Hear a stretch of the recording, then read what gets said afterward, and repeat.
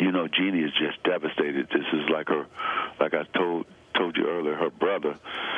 Um, it was just great of the Buss family to do that for Kobe, and that's how much he meant to not only the Buss family, but also to Laker Nation and all the great Laker fans we have around the world. I, I, appreciate your time, Magic. Thanks so much, man. And we, and like we always say, you, you know, we just got to keep the faith. Yeah, this is not a conversation I ever wanted to have, and it's been, it's my heart's just been broken. You know, I got out of church and found this out, and it's just, I just still can't believe it. Not, not Kobe not Kobe. But uh, we have to pray and uh, pray for his family, also for his mom and dad.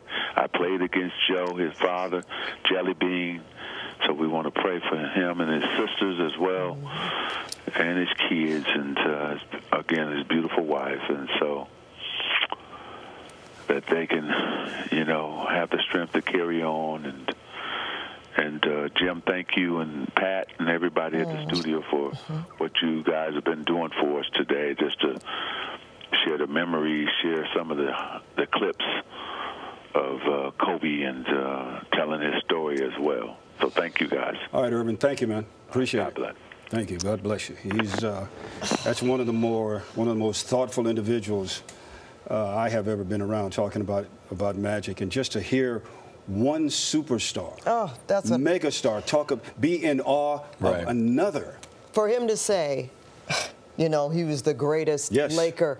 Yes. Oh my God! I, I, immediately upon hearing about this, and I was with some women from Michigan, two of them mm -hmm. from Lansing. We happened to be talking about Earvin on our trip, and remember when Earvin retired? That was such a blow to especially Los Angeles, especially for those who had watched him play. He wasn't, he didn't have his family at the time, but we were so saddened to hear that he wasn't going to play anymore. And, and the question, who could possibly, who could possibly light up this city again? Who could possibly provide that spark for the Lakers to win championships? Because let's face it, right, Jim? This is a championship nation. That's what it's championship about. city. Yeah. Mm -hmm. And then here comes 17 year old Kobe Bryant, straight out of high school, and just immediately became the superstar with the Lakers. And to get to watch, listen to Earvin and to, to watch Kobe, both of them when they, they got married and they had children. So to watch them raise their kids and really to hear Earvin talk about Kobe like that because he really did take him under his wing. It's just very, it's so sad it's also very touching and, and, and heartwarming. He will, he will always live in our hearts. There's no question. Always, always live in no our hearts. question. Yeah. It's amazing that. what Magic said about nobody took more pride in putting on a Lakers uniform